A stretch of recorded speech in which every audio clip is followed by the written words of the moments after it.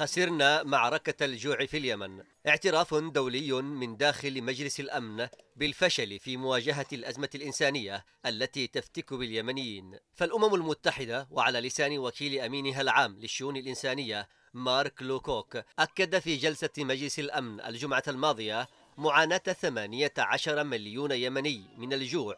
الذين لا يعلمون متى سيحصلون على وجبتهم التالية مشيرا إلى وجود أكثر من مليون حالة اشتباه بوباء الكوليرا التي تسببت بوفاة أكثر من ألفي شخص.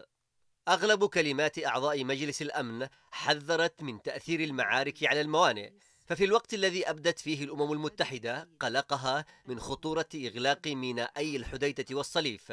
أكدت بريطانيا على ضرورة بقاء المعارك بعيدة عنهما.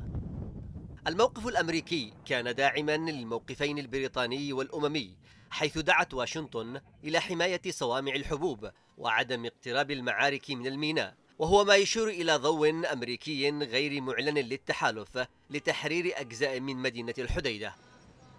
لكن الموقف الروسي حاول التغريد باتجاه ضرورة بناء تدابير الثقة. داعيا إلى ضرورة مشاركة إيران في دعم الأمن في اليمن والمنطقة مقترحا وضع الحديدة تحت الرقابة الدولية.